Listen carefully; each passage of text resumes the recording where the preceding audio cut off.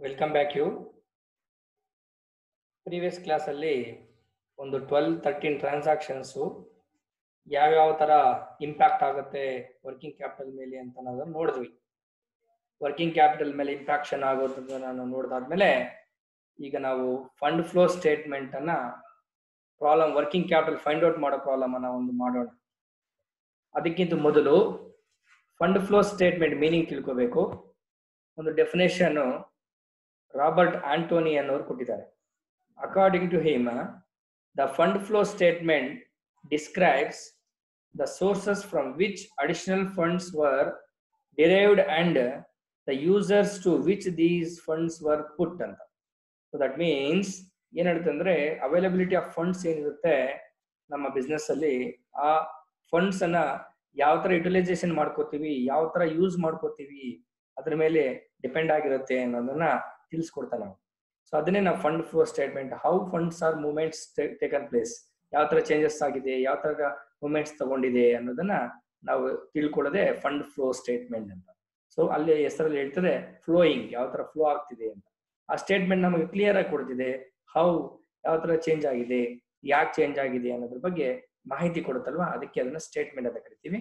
Fund ಯಾವ ತರ move ಆಗಿದೆ ಅದನ್ನ ಫ್ಲೋ ಅಂತ ಕರಿತೀವಿ. ಸೊ ಇದು ನಾವು ಡೆಫಿನೇಷನ್ ಆಯ್ತು. ಇಲ್ಲಿ ಫಂಡ್ ಫ್ಲೋ ಸ್ಟೇಟ್ಮೆಂಟ್ನ ಮಾಡೋದಕ್ಕೆ ಮೊದಲು ಎರಡನ್ನ ನಾವು ತಿಳ್ಕೋಬೇಕು. ಯಾಕೆ ಅಂದ್ರೆ ಒಂದು ಫಂಡ್ ಫ್ಲೋ ಸ್ಟೇಟ್ಮೆಂಟ್ ಮಾಡ್ಬೇಕಂದ್ರೆ ಪ್ರೊಸೀಜರ್ ಎರಡು ಪ್ರೊಸೀಜರ್ ಇದೆ. ಒಂದನೇ ಪ್ರೊಸೀಜರ್ ಬಂದು ವರ್ಕಿಂಗ್ ಕ್ಯಾಪಿಟಲ್ ಶೆಡ್ಯೂಲ್ ಮಾಡ್ಕೋಬೇಕು. ಎರಡನೇದು ಬಂದು ಸೋರ್ಸಸ್ ಅಂಡ್ ಅಪ್ಲಿಕೇಶನ್ ಫಂಡ್ಸ್ನ ಮಾಡ್ಕೋಬೇಕು. ಇಲ್ಲಿ ಇವತ್ತು ನಾವು ಚೇಂಜಸ್ ಇನ್ ವರ್ಕಿಂಗ್ ಕ್ಯಾಪಿಟಲ್ನ ನೋಡ್ತೀವಿ. ಸೊ ನೆಕ್ಸ್ಟ್ ಕ್ಲಾಸ್ ಅಲ್ಲಿ ಸೋರ್ಸಸ್ ಅಂಡ್ ಅಪ್ಲಿಕೇಶನ್ ನೋಡ್ತೀವಿ.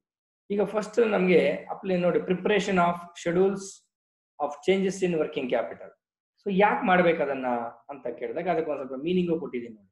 ಏನು ಅಂತಂದ್ರೆ the schedule of working capital changes record current assets and current liabilities on two accounting period ಎರಡು ಅಕೌಂಟಿಂಗ್ ಪೀರಿಯಡ್ಸ್ ಅಂತ ಏನಿರ್ತದೆ, ಹಣಕಾಸಿನ ವರ್ಷಗಳು. ಆ ಹಣಕಾಸಿನ ವರ್ಷಗಳಲ್ಲಿ ಕರೆಂಟ್ ಅಸೆಟ್ಸ್ ಅಲ್ಲಿ ಮತ್ತೆ ಕರೆಂಟ್ ಲೈಬಿಲಿಟೀಸ್ ಅಲ್ಲಿ ಆಗುವ ಬದಲಾವಣೆಗಳನ್ನ ಮಾತ್ರ ರೆಕಾರ್ಡ್ ಮಾಡ್ತೀವಿ. ಅದನ್ನ ಬರ್ಕೊಳ್ತೀವಿ. ಅದು ನಮ್, ಅದರಿಂದ ಏನಪ್ಪಾ ಅನುಕೂಲ ಆಗುತ್ತೆ ಅಂತಂದ್ರೆ every current asset or every current liability particular period ಅಲ್ಲಿ ಕರೆಂಟ್ ಪೀರಿಯಡ್ ಅಲ್ಲಿ ಏನಿದೆ ಅದನ್ನ ಕಂಪೇರ್ ಮಾಡಬಹುದು ಪ್ರೀವಿಯಸ್ ಪೀರಿಯಡ್ಗೆ ಹಾಗೂ ಆ ಪ್ರೀವಿಯಸ್ ಪೀರಿಯಡ್ ಕಂಪೇರ್ ಮಾಡಿದಲ್ಲದೆ ಚೇಂಜಸ್ ಮೇ ಬಿ ಚೇಂಜಸ್ ಏನಾಗತ್ತಪ್ಪ ಅಂತಂದ್ರೆ ರೆಕಾರ್ಡ್ ಆಗತ್ತೆ.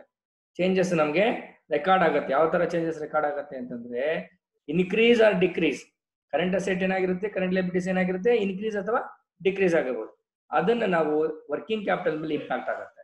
ಅನ್ನೋದನ್ನ ನಾವು ತಿಳ್ಕೊಳ್ಳೋದೆ ಈ ಚೇಂಜಸ್ ಇನ್ ವರ್ಕಿಂಗ್ ಕ್ಯಾಪಿಟಲ್ ಅಂತ ಕರಿತೀವಿ ಆಯ್ತಾ?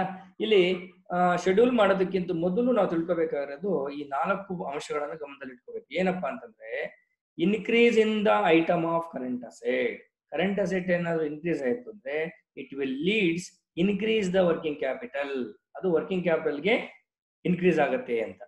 Decrease in the item of current asset current asset ಏನಾದ್ರು ಡಿಕ್ರೀಸ್ ಆಯ್ತು ವ್ಯಾಲ್ಯೂ ಅಂತಂದ್ರೆ it will lead decrease the working capital working capital also decrease ಆಗುತ್ತೆ.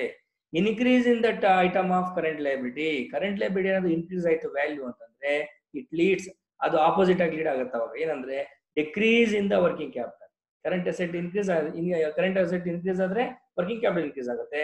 ಕರೆಂಟ್ ಲೈಬಿಲಿಟಿ ಇನ್ಕ್ರೀಸ್ ಆದ್ರೆ ವರ್ಕಿಂಗ್ ಕ್ಯಾಪಿಟಲ್ ಡಿಕ್ರೀಸ್ ಆಗುತ್ತೆ. Next decrease in the item of current liability ಅವಾಗ ಏನಾಗುತ್ತೆ? Increase in the working capital ನೋಡಿ opposite vice versa ಆಗುತ್ತೆ. Current ಅಸೆಟ್ಗೂ ಮತ್ತೆ current ಲೈಬಿಲಿಟಿಗೂ ಈ ನಾಲ್ಕು ಪಾಯಿಂಟ್ ತುಂಬಾ ಚೆನ್ನಾಗಿ ನೆನ್ಪಿಟ್ಕೋಬೇಕು. ನೆನ್ಪಿಟ್ಕೊಂಡ್ರೆ ನಮ್ಗೆ ಶೆಡ್ಯೂಲ್ ಮಾಡೋದು ಏನ್ ಸಮಸ್ಯೆ ಆಗೋದಿಲ್ಲ. ಈಗ ನಮಗೆ ಪ್ರಾಬ್ಲಮ್ ಒಂದಿದೆ. ಪ್ರಾಬ್ಲಮ್ ಏನಿದೆ ಅಂತಂದ್ರೆ ನೋಡಿ prepare a schedule of changes prepare a schedule of changes which is took place ನಮ್ಗೆ ಏನು ಸಿಗುತ್ತೆ ಅಂದ್ರೆ ಟೂ ತೌಸಂಡ್ ಸಿಕ್ಸ್ಟೀನ್ ಸೆವೆಂಟೀನ್ಗೆ ನಮ್ಗೆ ಇನ್ಫಾರ್ಮೇಶನ್ ಅನ್ನ ಕೊಟ್ಟಿದ್ದಾನೆ. ಸಂಡ್ರಿ ಕ್ರೆಡಿಟರ್ಸ್ ಕೊಡ್ತಾನೆ eighty thousand and one lakh tax payable fifty thousand and eighty thousand outstanding expenses twenty thousand twenty eight thousand bills payable ten and eight sundry creditors seventy and one lakh twenty five stock thirty and thirty eight bills receivable five thousand and four thousand respectively ಇದು ನಮಗೆ problem with the help of this problem ನಾವು ಏನ್ ಮಾಡ್ಬೋದು ಅಂತಂದ್ರೆ schedule of changes of working capital working capital ಯಾವ ತರ changes ಆಗುತ್ತೆ ಅನ್ನೋದನ್ನ ನೋಡ್ತೀವಿ. ನೋಡಿ ಫಾರ್ಮೆಟ್ ಈ ತರ ಇದೆ. So changes working capital changes of working capital ಹಿಂಗ್ ಹಾಕೋತೀವಿ. Effect on working capital two column increase and decrease ಮತ್ತೆ ಅದರ ಜೊತೆಗೆ ಇಯರ್ ಕಾಲಮ್ ಒಂದು ಹಾಕೋತೀವಿ. ಇಷ್ಟು ಕಾಲಮ್ಸ್ ಅನ್ನು ಹಾಕೋಬೇಕು ಇಷ್ಟು ಕಾಲಮ್ಸ್ ಹಾಕೊಂಡ್ಮೇಲೆ ನಮಗೆ ಪ್ರಾಬ್ಲಮ್ ಸಾಲ್ವ್ ಮಾಡ್ತಾ ಹೋಗೋಣ. ಫಸ್ಟ್ ನಾವು ಫಸ್ಟ್ಗೆ ನಾವೇನು ತಗೋಬೇಕು? ಕರೆಂಟ್ ಅಸೆಟ್ಸ್ ಕರೆಂಟ್ ಅಸೆಟ್ಸ್ ಯಾವ್ಯಾವುದು ಅಂತ ಚೆನ್ನಾಗಿ ಗೊತ್ತಿರಬೇಕು. ಕೊಟ್ಟಿರೋವೆಲ್ಲ ಕರೆಂಟ್ ಅಸೆಟ್ಸ್ ಆಗಿರೋದಿಲ್ಲ ಪ್ರಾಬ್ಲಮ್ ಅಲ್ಲಿ. ಕೊಟ್ಟಿರೋವೆಲ್ಲ ಕರೆಂಟ್ ಲೈಬ್ರಿಟಿನೂ ಆಗಿರೋದಿಲ್ಲ. ಅದರಲ್ಲಿ ನಮಗೆ ಪಿಕ್ ಮಾಡಬೇಕು ಕರೆಂಟ್ ಅಸೆಟ್ಸ್ ಯಾವುದು ಕರೆಂಟ್ ಲೈಬ್ರಿಟಿಸ್ ಯಾವುದು ಸೊ ಹಾಗಾಗಿ ಕರೆಂಟ್ ಅಸೆಟ್ಸ್ ಅಲ್ಲಿ ಫಸ್ಟ್ ಐಟಮ್ ನಮ್ಗೆ ಏನಿದೆ? ಸನ್ಡ್ರಿ ಡೆಟಾರ್ಸ್ ಅಂತ ಪಿಕ್ ಮಾಡಿದೆ ಸನ್ಡ್ರಿ ಡೆಟಾರ್ಸ್ ಪಿಕ್ ಮಾಡಿದಾಗ ಫಸ್ಟ್ ಇಯರ್ ಅಲ್ಲಿ ಸೆವೆಂಟಿ ತೌಸಂಡ್ ಇದೆ. ಸೆಕೆಂಡ್ ಇಯರ್ ಅಲ್ಲಿ one lakh twenty five thousand ಇದೆ. ಸೊ ನೆಕ್ಸ್ಟ್ ಸ್ಟಾಕ್ ಇದೆ. ಸ್ಟಾಕ್ ನಮಗೆ ಕರೆಂಟ್ ಅಸೆಟ್ ತರ್ಟಿ ತೌಸಂಡ್ ಇದೆ ತರ್ಟಿ ಏಟ್ ತೌಸಂಡ್ ಇದೆ. ಬಿಲ್ಸ್ ಇಸಿಬಲ್ ಫೈವ್ ತೌಸಂಡ್ ಇದೆ ಫೋರ್ ತೌಸಂಡ್ ಇದೆ ನೋಡಿ, ಇಲ್ಲಿ ಫಸ್ಟ್ ಇಯರ್ ಸೆಂಟ್ರಿ ಡೇಟರ್ ಎಪ್ಪತ್ತು ಸಾವಿರ ಇದೆ. Second year one lakh twenty five thousand ಇದೆ. Increase in current asset increase in working capital ಅಂತ. ಸೊ ಅಲ್ಲಿಗೆ ಎಪ್ಪತ್ತು ಸಾವಿರ ಇದ್ದಿದ್ದು ಒಂದು ಲಕ್ಷ ಇಪ್ಪತ್ತೈದು ಸಾವಿರ ಆಯಿತು ಅಂದ್ರೆ ಐವತ್ತೈದು ಸಾವಿರ ಇನ್ಕ್ರೀಸ್ ಆಯಿತು. ಇನ್ಕ್ರೀಸ್ ಕಾಲಮಲ್ಲಿ ಬರ್ದೆ. Stock thirty thousand thirty eight thousand increase in current asset increase in working capital eight thousand bills receivable five thousand four thousand decrease ಆಯಿತು. Decrease in current asset decrease in working capital one thousand ಬರೆದ್ವಿ. ಬರೆದ್ಮೇಲೆ ಆಯಾ columns ಅನ್ನ ನಾವು total ಮಾಡಿದ್ವಿ. Current assets ಬರುತ್ತೆ. Current assets one lakh five thousand and one lakh sixty seven thousand ಎರಡು ಬಂತು ನಮಗೆ. ಸೊ ಆಮೇಲೆ ಕರೆಂಟ್ ಲೈಬ್ರಿಟೀಸ್ ತಗೋಬೇಕು. ಕರೆಂಟ್ ಲೈಬ್ರಿಟೀಸ್ ತಗೊಂಡು ಅದನ್ನ ಟೋಟಲ್ ಮಾಡಿದ್ರೆ ಕರೆಂಟ್ ಲೈಬ್ರಿಟೀಸು ಸಂಡ್ರಿ ಕ್ರೇಟಾರ್ಸ್ ಇದೆ. ಸಂಡ್ರಿ ಕ್ರೇಟಾರ್ಸ್ ಎಷ್ಟಿದೆ ನಮ್ಮ ಪ್ರಾಬ್ಲಮ್ ಅಲ್ಲಿ? Eighty thousand one lakh say ಅದು increase in current liability decrease in working capital twenty thousand increase ಆಯಿತು, ಅದಕ್ಕೆ ಡಿಕ್ರೀಸ್ ಕಾಲಮ್ ಅಲ್ಲಿ ಬರಬೇಕು. Next tax payable tax payable also current liability fifty thousand eighty thousand increase in current liability decrease in working capital thirty thousand ಅಲ್ಲಿ ಬರ್ದಿದ್ವಿ. Outstanding expenses twenty thousand twenty eight thousand eight thousand rupees increase ಆಯಿತು decrease ಕಾಲಮಲ್ಲಿ ಬರ್ದ್ವಿ. Next bills payable bills payable ten thousand and eight thousand so two thousand rupees decrease ಆಯ್ತು. Increase column ಅಲ್ಲೇ ಬರೀಬೇಕು. Rule ಹೇಳುತ್ತಲ್ಲ decrease in current liability increase in working capital ಅಂತ. So ಅದಾದ್ಮೇಲೆ ನಮ್ಗೆ total ಮಾಡ್ಕೊಂಡ್ವಿ. Total ಮಾಡ್ಕೊಂಡ್ರೆ ಒನ್ ಲ್ಯಾಕ್ ಸಿಕ್ಸ್ಟಿ ತೌಸಂಡ್ ಬಂತು. So ಇದನ್ನ ಟೋಟಲ್ ಮಾಡಿದ್ವಿ. ಟೂ ಲ್ಯಾಕ್ ಸಿಕ್ಸ್ಟೀನ್ ತೌಸಂಡ್ ಬಂತು. ಸೊ ಬಂದಾದ್ಮೇಲೆ ಇದನ್ನ current liabilities total current liabilities ಅಂತ ಬರೆದ್ವಿ. ಸೊ ಈಗ ವರ್ಕಿಂಗ್ ಕ್ಯಾಪಿಟಲ್ ಬೇಕಂದ್ರೆ current assets minus current liabilities so ಯಾಕೆ ನಾನು ನೆಗೆಟಿವ್ ವರ್ಕಿಂಗ್ ಕ್ಯಾಪಿಟಲ್ ಅಂತ ಬರ್ತಿದ್ದೀನಿ ಅಂದ್ರೆ, ಇಲ್ಲಿ ಕರೆಂಟ್ ಲೈಬಿಲಿಟೀಸ್ ಜಾಸ್ತಿ ಇದೆ.